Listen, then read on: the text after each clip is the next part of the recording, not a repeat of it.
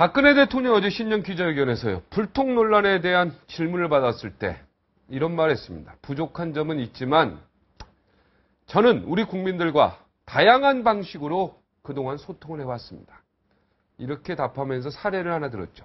15년 전에 사망한 대구 여대생 유가족들의 민원을 해결해줬다. 그 억울함을 풀어줬다는 겁니다.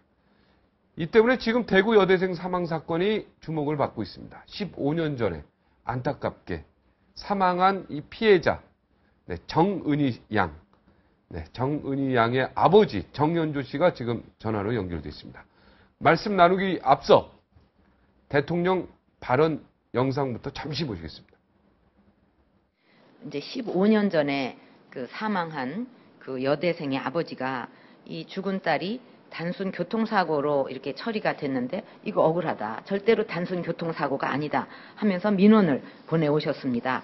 근데 그동안에 역대 정권 때마다 이 억울함을 호소했는데 그냥 형식, 형식적인 답변만 이렇게 오고 해결이 되지 않았다고 그럽니다. 그래서 아유 이번에도 뭐 되든 안 되든 마지막 지푸라기를 잡는 심정으로 이 민원을 보내온 것입니다. 그 당시 어, 경찰의 초동 수사에 문제가 있었고 또 그 후에 민원 처리 과정에서도 문제가 있었, 있었습니다. 그러니까 그 아버지 입장에서는 얼마나 억울하고 참 원통했겠습니까?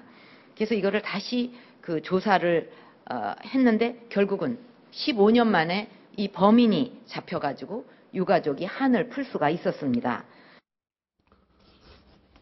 네. 아버님 그 정현주 씨? 네. 예, 예. 네. 지금 심경이 어떻습니까? 심정이요? 네.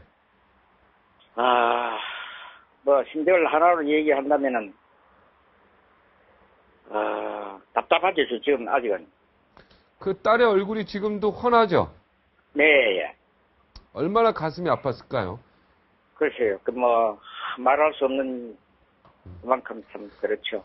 그러니까 다리 밑에서 성폭행을 당하고요. 그죠? 예. 정신이 없는 상태에서 고속도로 나왔다가 교통사고 당한 거 아니겠습니까? 글쎄, 그 지금 교통사고를 당했다 하는 건 아직은 그 의문이 남아 있습니다. 아, 교통사고로 그때 사망 그 사망 그 뭐라 그럴까 진단이 나왔을 거 아닙니까? 어, 그때 당시는, 어, 교통사고하고 좀 틀린다, 유사하다, 이 수사를 해봐라 하는 식으로 되었거든요. 네.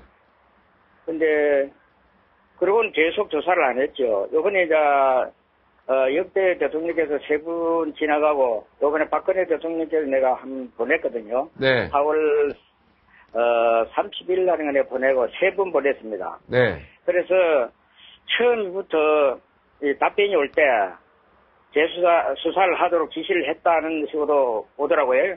네. 그래서 어, 역시 그러면은 똑같은 전번과 같은 그런 답변이다 이래가 안 된다 하면서 또 보냈거든. 그래서 세 번을 보내니까 어 보내면서 또 대구지검에다가 내가 고소장을 냈지요. 네, 아니 그래서 내자. 네네. 그래서 하여튼 그 이전에 정부는 다 안 받아준 거 아닙니까 민원을 그죠?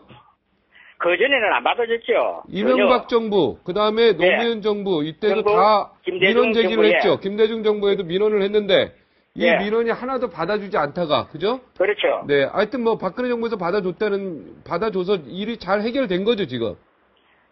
예, 아직 지금 재판하고 있고 하기 때문에 네. 범인은 잡았습니까? 어, 지금 뭐 DNA 각 뭐 수사로서는 뭐 DNA가 말다 일치하다 하니까 네, 거기는 내가 가는데 그 지금 저 직립 상태로서 충돌했다 네. 교통사고 예, 거기에 대해서는 아직은 의문이 안 풀렸습니다. 그러니까 지금 아버님이 생각할 때는 성폭행 당해서 교통사고로 죽은 게 아니라 살해당했다 이렇게 생각하시는 거죠? 예 예. 아, 아버님은 그렇게 생각하는 거고, 그 당시의 사건 결과는 교통사고로 단순 교통사고 사망으로 정리가 된 거고요. 예 예. 그리고 범인은 파키스탄 사람으로 나와 있습니까? 외국인으로 나와 있죠? 예 예. 예. 근데 왜 외국인인데 범, 범인이, 뭐 고위층 네. 자녀도 아니고요. 네. 외국인인데 왜 그동안 경찰이 이거를 단순 교통사고로 해서 사건을 무마시키려고 했을까요? 글쎄요. 이것은 그것이 의문인데 예. 그래 당시에 그, 그 뭐라고 DNA 조사를 할때 네. 어떤 방향으로 했는지 그것이 좀 아쉽고요. 네. 그 그리고 당시에 그 경찰들의 수사한 것을 그 경찰들이 지금도 살아 있고 현직에 계신 분들 많습니다. 네. 예, 거기에 한번 조사를 해야 되는데 거기에 조사를 안 한 것 같고요. 네. 뭐 할 말은 할 것은 많은데 네. 네. 이, 뭐, 그래, 아, 이거 뭐, 죽은 딸이 다시 돌아올 수도 없는 거고, 이게 사건이 해결된다고 해도요. 예, 막 예. 속이 타죠? 네. 예. 이딸 가진 아버지 마음을 제가, 저도 딸이 있어 정확히 압니다. 예, 예, 이거 예. 잠못 자죠. 이거 15년 동안 잠도 못 주무셨죠? 예. 네. 하루도 뭐 편하게 잠 잘 수가 없습니다. 이 네. 아버지의 딸에 대한 사랑은 이게 너무 지극한 거기 때문에. 네. 자, 이 정부와 앞으로 좀 이 법원이나 이쪽에 좀 이렇게 좀 해줬으면 좋겠다. 이런 거 좀 답답한 거 있으면은 이 자리에서 마지막 한마디 해주십시오. 아, 예, 좀, 좀, 박종민, 뭐, 앵커를 해야 되겠습니까? 왜? 네. 제가 부탁하고 싶은 거는요, 네. 아, 지금 박 대통령을 직접 제가 면담을 한번 했으면 싶고요. 아, 박 대통령하고. 예. 그리고 네. 캐도 남마에서, 네. 어, 그 수사진과 네. 저와 변호사와 네. 그 부검이와 같이 토론 형식으로 한번 했으면 좋겠습니다. 아, 그래요? 정말 부탁하고 싶고요. 네네. 네, 그리고, 어, 뭐가 중요하냐면 피해자의 알 권리가 너무 부족하다. 아, 네. 수사를 정말가 말하자면은, 예, 어, 뭐랄까노, 담당, 네. 그 사건에 대한 책임제 수사, 네. 어, 정말 해가지고, 어, 수사진들이 잘못을 해가지고, 공소시효가 있는데, 공소시효를 없애라, 이거. 네.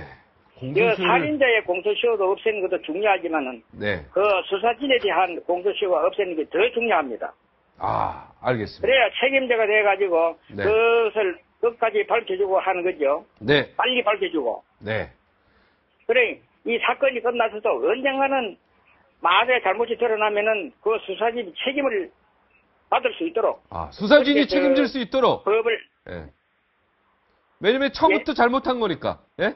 예, 예, 예. 그래서 이 수사한 사람들도 책임감을 좀 갖도록 해달라. 예, 예, 예. 알겠습니다. 예. 저희 마음 좀 잘 추스리시고요. 15년 지났지만 어제 일 같죠? 딸 얼굴이요. 네. 네. 그 마음 제가 잘 알겠습니다. 아이고, 네. 예. 캐도남마도 열심히 노력하겠습니다. 오늘 고맙습니다. 꼭 제가 말씀드리는 거 부탁을 드리겠습니다. 예, 고맙습니다. 네.